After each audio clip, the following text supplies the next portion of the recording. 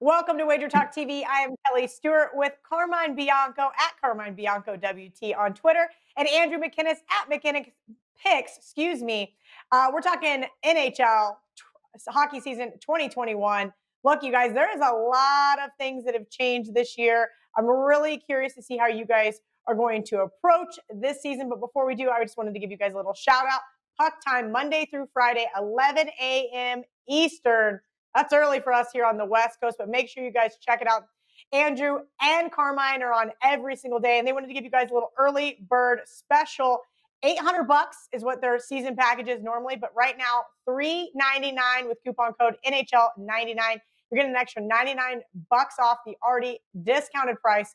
These are the two guys that I get my hockey picks from. Point blank, period, the end. That's why I wanted to do a video with them. Carmine, I'm going to start with you. This season, what has changed? I mean, obviously, given the circumstances, we know that there's not going to be fans, but there's a lot of things that have changed here in hockey that I was not aware of until you guys had both mentioned it to me.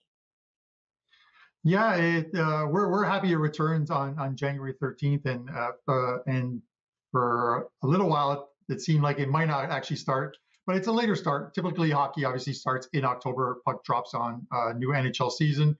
A reduced schedule this year, 56 games as opposed to the 82 that we normally have. And because of obviously the current situation with COVID uh, in the US and in Canada, uh, in the NHL, uh, there's a realignment of divisions now. So um, they're trying to keep teams in their specific time zones for the most part.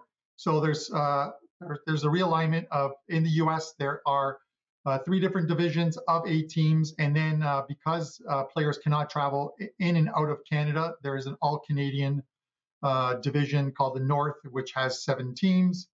and um, the way the playoffs will work this year is the top four in each division we'll make the playoffs, and then obviously it'll be one one versus four, two versus uh, three, and then uh, we get a division winner and move on to the semis and and then the Stanley Cup Finals. So, Carm, sticking with you really quick, what how has the schedule really changed here? I know that it can definitely impact things like season win totals, as well as which teams used to play each other that no longer do, such as like strength of schedule, things of that nature. Yeah, it's the interesting thing. Obviously, of course, as I mentioned uh, previously, there's 56 games in the schedule as opposed to, to 82. And some books are coming out now with uh, point totals for teams.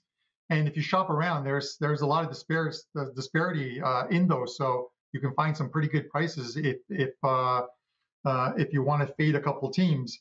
Um, but the one thing that I take away from this is it's the interesting thing. Uh, there's a twist to it in in that uh, the NHL has taken almost like a page out of the MLB uh, playbook uh, because they want teams to travel, their travel uh, to be very minimal. They've set up almost a, uh, a baseball type schedule. Some of these teams, so you'll see, um, let's say Toronto and Vancouver. They may they will play at least twice, maybe three times in a row over the course of either three three or five days. So much like a baseball series, you're playing the same team three games in a row. What this does, uh, obviously, is it, it, creates opportunities, and I think Andrew will agree with me as far as like totals go, where in games two and three, uh, you may see uh, adjusted totals, and if they aren't adjusted, um, you can take advantage of them. Andrew Carr so, mentioned things like series prices here, right? Even though they're not a series, they're playing it as such. So, A, what are your thoughts on the new division and how are you going to approach this 2021 season? it's very interesting. You're seeing teams play each other more than you usually would have. So, of course, that's a huge thing to take into account. Uh, and matchups, like you said, one thing that I was going to mention that you already mentioned, Kelly, is just looking at how a certain player plays against a certain team, how a certain goalie performs against a certain team. I really am a big fan of matchup history, recent history for certain teams against them. But as far as the total market goes, just to get into totals for a second, we're going to see some backs to backs, and not just back to backs. We're going to see you know, to take another page out of the MLB or baseball metaphor, uh, it's kind of like when you when you see a pitcher, you know, you see him once, maybe you see him again in a couple of weeks span. Now they're going to see the same players back to back times. Maybe they're going to know what they're going to be doing a little bit more. Maybe you're going to know a goaltender's weaknesses. So I look at that as being a big weakness uh, for some teams that might not have that depth, that might not have that great coaching. And I think that right now, during this season, more than ever, the backup goaltender is going to be a vital part of a team because if you're playing three games against the same team, you know, back one back to back and then one day off again, you're not going to have the same goalie out there. You're going to have a backup out there and you're going to need him to play meaningful games, not just the games against the weak teams, meaningful games every time they're out there. And another thing about this season, the NHL is allowing teams to carry a lot more players. I believe it's at least six more players per team, not on the bench, but um, have the option to start them. So in one game, they might say, hey, look, this guy didn't play his best. The next game against the exact same team, they'll bring somebody new out. So I think as far as that goes, people that are handicapping this sport, you have to check the lineups. You have to be able to make sure you're looking at things because that will impact the totals market. All right, Cam or Carm, uh, excuse me, I'm going to kick it back to you. What are you looking for as far as like bet on or bet against spots? Andrew just mentioned, hey, look, this is how the scheduling is going to affect either the starting goalie or the backup goalie. Here's how player X plays against team Y. These are kind of things that once you get in the rhythm of handicapping hockey for all of these years, you're going to have to make some adjustments. So I'm just really curious as to what adjustments you're going to make and what kind of spots are you looking to play on or against? Yeah, and this is something that Andrew and I have discussed uh, almost daily uh, over the last little while uh, leading up to this. The, the, way in which you handicap, uh, or where, the way in which we handicap uh, NHL January, call it the first week of January, the 13th of till the 20th, is not going to be the same way we handicap uh, the first week of February because this game is just going to change. It's going to evolve. We're going to actually see like patterns are going to eventually emerge. Um, you have to think um, heading into this season, but we don't have a full training camp. We don't have a full preseason. So players aren't up to game fitness. They're athletes, but trust me, they're not to game fitness. Players aren't going to play their regular, a, a, guy like an Austin Matthews or uh, Draisaitl. They're not going to play their regular 24 to 26 minutes, especially in back-to-back situations or where they play uh, three games in four nights. They're uh, reduced minutes. Andrew made that fantastic um, observation of, of, of players, uh, of teams having more players uh, on their roster and can bring players in, and and those players possibly come in for that third game in four nights. So those are things that you're going to have to watch um, with this shortened schedule. I hate to say, but it's it's sort of like NBA. It took us a while to realize with NBA uh, that load management was happening, and you would bet. Uh, not to go off on a tangent, you bet the Spurs minus eight, and then find out four guys are out, and the Spurs are now plus three these are things that you're going to have to do your research. Uh, if you're not if you're not ready to do your homework, we're doing the homework at Order Wager Talking, and and we're doing it for you. But you've got to do your homework and absorb as much information. And there's sites out there that report this stuff, so you really have to. Uh, but with the shortened season, uh, it's going to come up, uh, and there's going to be some play against spots, uh, especially with sides. And I think Andrew will agree. There are going to be uh, times where you're going to find Team A that is maybe minus 180 um, on the money line, and it's just an absolutely bad spot to be taking that team in the third of in the third game over four nights. Sorry, a little stutter there.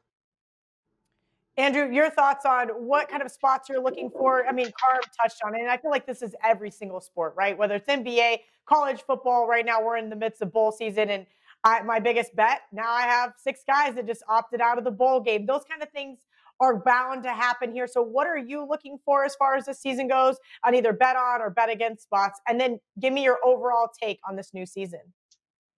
Exactly, Kelly. I mean, like you said, uh, anyone that's a sports better uh, or sports handicapper would definitely know that some of these spots are, are going to be obvious. For example, the Minnesota Wild, if you check their schedule, Kelly, the first two weeks of their season at minimum, they're starting at home. That's a clear advantage. No matter what sport it is, you'd recognize that. The Montreal Canadiens, they play one game at home, and then they're on the road for about a week and a half, I believe. So that's something you have to recognize. But I touched on this when I was in Vegas and did a video there with you talking NHL. I'm going to touch on it again. Recent form is touched on in every single league NBA, NFL, college hoops, football. However, I really, really believe that recent form is the most important in the NHL versus any other sport and league because you could have a team that has lost three straight games, but you can take a genuine handicap and say this team is getting scoring opportunities. This team is getting shots from the right opportunities in the right places on the ice. This team, this line is playing well. This goalie's playing well. And I find that versus other sports, uh, it might not be as easy to look at that unless you've actually taken a look at the last couple games, how those players are performing. So I really feel that this year, when you look at some of these specific spots, when you're playing a team that might be a lot better, um, and let's say you lost two out of the three games, you might go ahead in your next three game set, you know, saying, hey, look, we did lose. We still played some great hockey.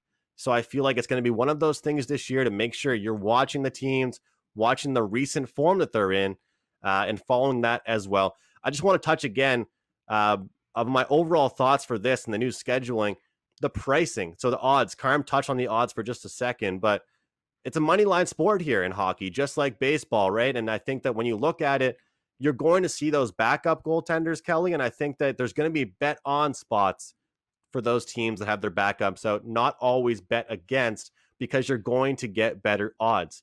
You look at a top five team in the league, take away the number one goaltender, and all of a sudden those odds go down. It's still the same team out there and, and still a pretty half decent goaltender. So it's very important this year. You're looking at the team's recent form, watching how the players are performing, and uh, looking for those uh, line changes, seeing who is in and out of the lineup. It's going to be a whole new season. We can't wait. And uh, Carmen and I can't wait for puck time.